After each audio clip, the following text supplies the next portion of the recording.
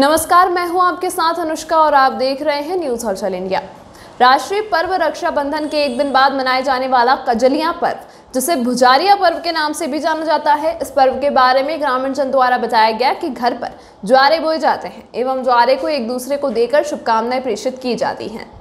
एवं मन्नत मांगने पर मनोकामना पूर्ण हो जाती है। तो पाँच वर्षों तक जवारे को बोया जाता है एवं भंडारे का आयोजन किया जाता है। प्रसाद वितरण की जाती है।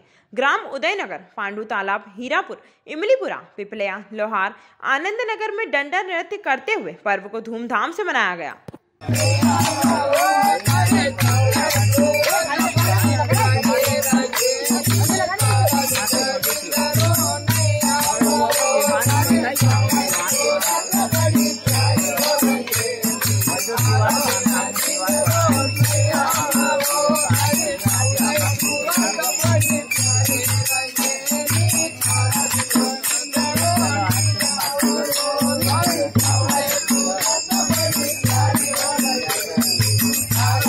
ありがとうございます。